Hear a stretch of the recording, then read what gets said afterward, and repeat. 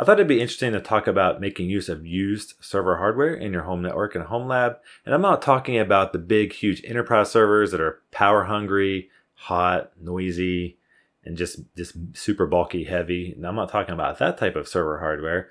Uh, I'm talking about power efficient hardware, and in particular the Intel Atom processors, especially the C3000 series, but the C2000 series is used for server hardware and for low power, like you know, network appliances, or even like just a just a simple like lightweight server if you if you need something with a bunch of network interfaces.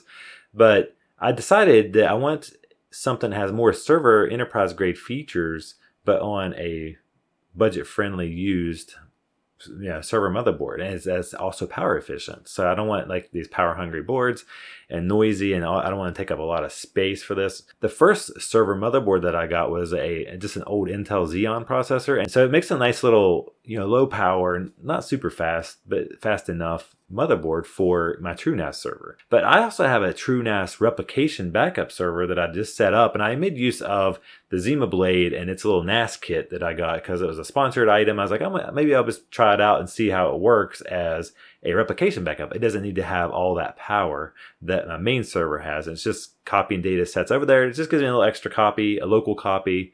So I don't have to go and download it all from the cloud, all my stuff that I have backed up there. And, you know, it doesn't hurt to have one extra backup and it's, it's pretty energy efficient. So it doesn't cost a lot to run that. So I thought I'd replace it with a little more of a server grade motherboard because I can get ECC RAM. Not necessarily required, but it's nice to have with ZFS.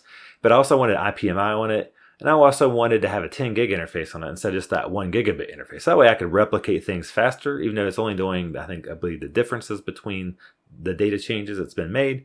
But it definitely would be great to have 10 gigabits between my main TrueNAS server and my replication server. So I can do those tasks quicker. Maybe I can maybe do it a little more frequently or something like that. So that way, you know, it doesn't slow anything down. Uh, so I, when I looked at the CPU usage of the Zima Blade and even and even my main TrueNAS server, it idles most of the time, and and because it's just sitting there, you know, I do offsite backups stuff like that. A lot of these things don't ramp the CPU up that much, so that's why I believe that the, this Intel C2000 series, even though the single thread performance is a little bit lower than the Zima Blade, I think it'll still be adequate because it's got more cores. It's got eight cores instead of four. So without further ado, I'll talk about the hardware that I purchased and then I'll show you why I think it'll be a good little board just for a backup server. So here it is, the motherboard in all of its glory, the Supermicro. It's just a mini ITX motherboard. So it's super compact. It has a lot of networking interfaces on it. They're only one gigabit Ethernet interfaces, but there is a PCI 2.0 by 8 lane slot here so I can put a 10 gig NIC in it. I already have several that, that run under PCIe 2.0 and I don't really have any use for them so I was, you know I might as well make use of that and it should be able to get the full 10 gigabits because that's you get 2 gigabytes uh, of bandwidth which is 16 gigabits and there's a little bit of overhead so maybe you get about 14 so that's plenty of bandwidth to get the full 10 gigabit bandwidth here the hard drives are only going to get 3 to 4 gigabits right uh, spinning disks so that'll be fine for a replication backup. And then it came with 16 gigabytes of ECC RAM, which is great. All this was $99 US dollars. So even with the 16 gigs of RAM, so it's pretty affordable because I looked up this motherboard and even new, they were you know between 415 to 500 dollars or so. And for a new board, I'm like, wow, they're still selling them for, and that's not even with any RAM. So I got 16 gigs of RAM and it's used, and it still looks like it's in pretty good shape. And you see, it has a little heatsink here and this is the you know Intel C2758 CPU is the exact model for this. And it's just eight cores, as I mentioned earlier. And what's interesting is this this CPU had a CPU glitch that caused it not to boot uh, you know, after a certain amount of time or whatever. It would just fail. And then there's there's a TPM header here somewhere, and you could put a resistor on it. If someone's figured it out that you could put a resistor on it, solder on there or whatever, and it would boot back up again and be fine. so you, there's a little hack you can get at the boot, which is very strange. But they fixed that glitch, I believe, in a newer revisions of this CPU in this series. And I took off the heatsink and I looked at the CPU and it has the stepping on it. And I looked up on ServeTheHome's website and they had a listing of what the newer revisions are that fix that CPU bug.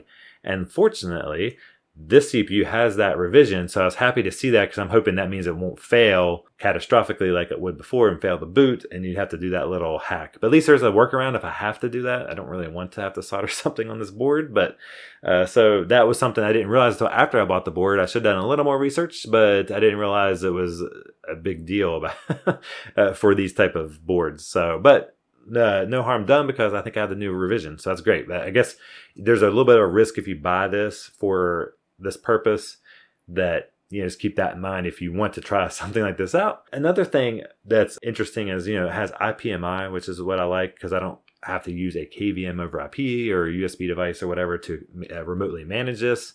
So it's great to have that. My main TrueNAS box which has a supermicro board also has ipmi so it's great to have those my main servers that have more server grade type features.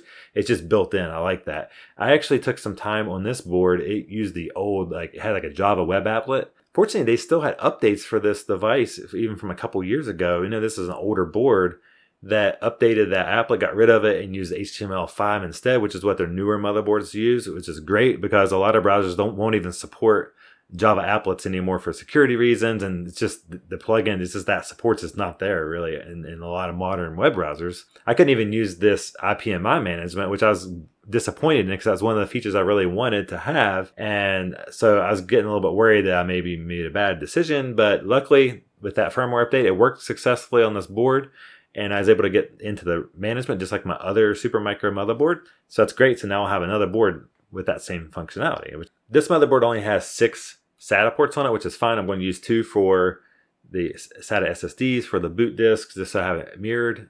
And uh, that gives me four uh, SATA ports just for the storage, which right now I'm only using two disks for in my replication backup.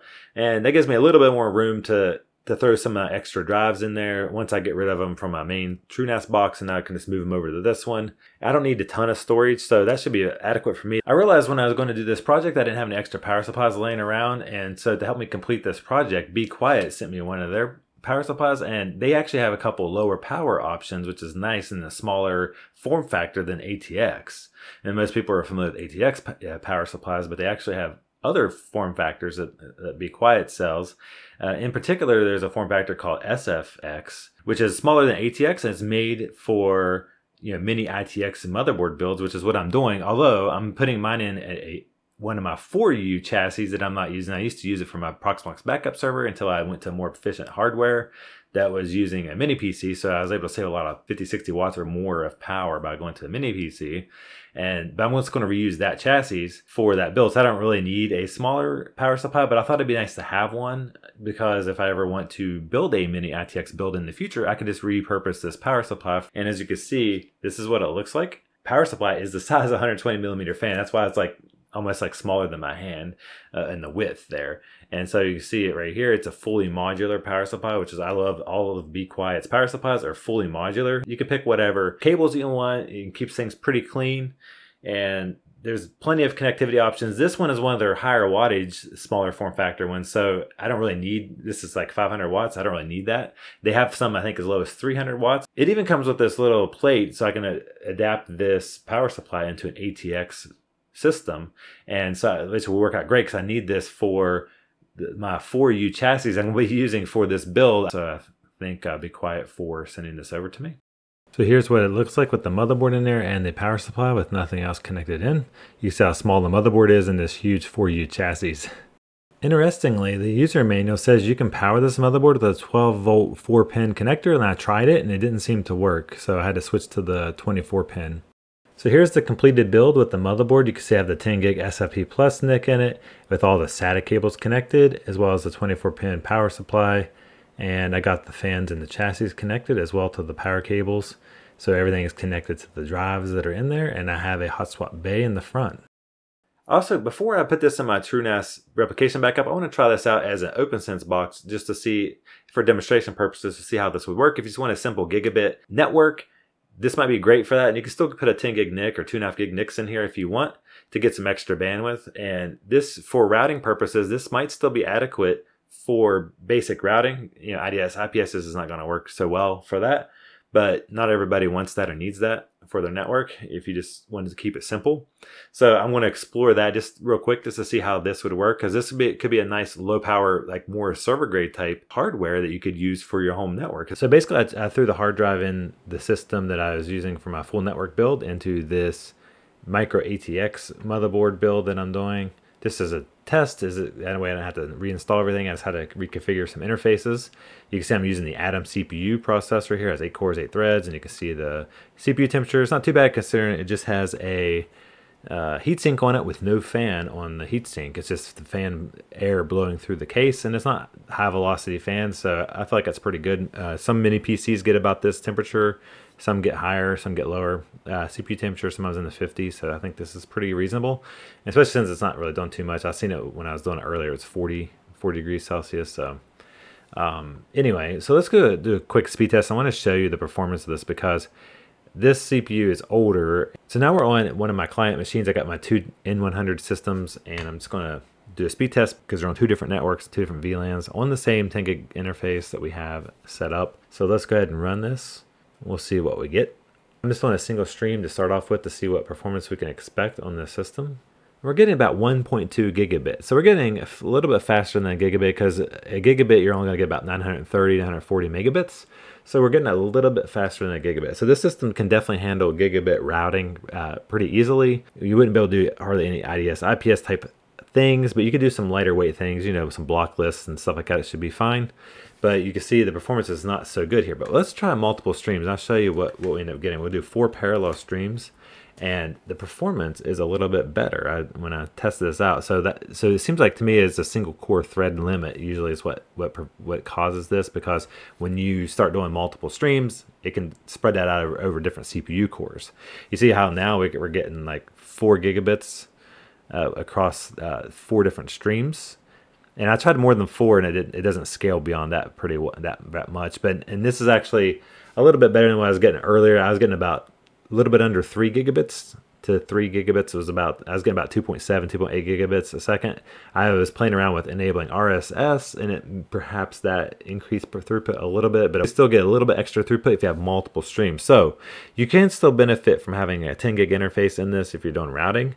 If you have multiple one gigabit streams on your network this could still potentially be beneficial you know across your VLAN so you could still have a little bit less of a bottleneck. So it's good to kind of get a rough idea of what kind of performance you can expect with this CPU and I didn't really get it for this purpose anyway but I just wanted to check this out real quick before uh, I actually used it in a TrueNAS build that I'm going to do.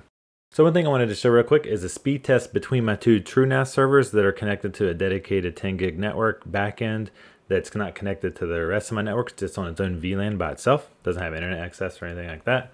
Which the nice thing about doing that is you can enable jumbo frames on just that one VLAN and that one network. And it's easy to set all of the high speed storage devices to the same jumbo frame. That's I feel like that's where it's useful uh, to get the maximum throughput. Jumbo frames doesn't give you that much more bandwidth unless you're getting 10 gigabit interfaces or higher because you can gain an extra 500 megabits or so on the 10 gig interfaces if you enable it.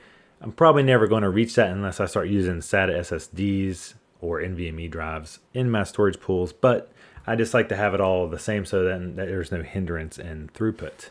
So if you look at this, I have my iPerf 3 test ready to go, and I'm going to go ahead and run it, and we'll see how close to 10 gigabits we can get. You know, there's always overhead on all the network interfaces, so you never get the maximum speed for the interface, but you get pretty close. As you can see, I'm getting 9.87 gigabits. That's usually about the max you can get for 10 gig. I've seen it be 9.9, 9.89 or whatever on some devices, but that's pretty good considering it's just on a slower machine. So this shows that it's capable of 10 gigabits.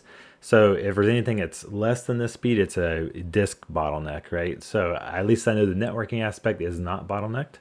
So that's great to see. I can even reverse it if I want and have it sending from the other system if I do it this way. Let's see if I reverse the direction coming into the box. It's uh, just slightly slower, but not bad at all. I'm not sure why it's barely slower, but it just, well, maybe just that little warming up a little bit there because now it's about the same. Now, same speed in both directions is pretty good.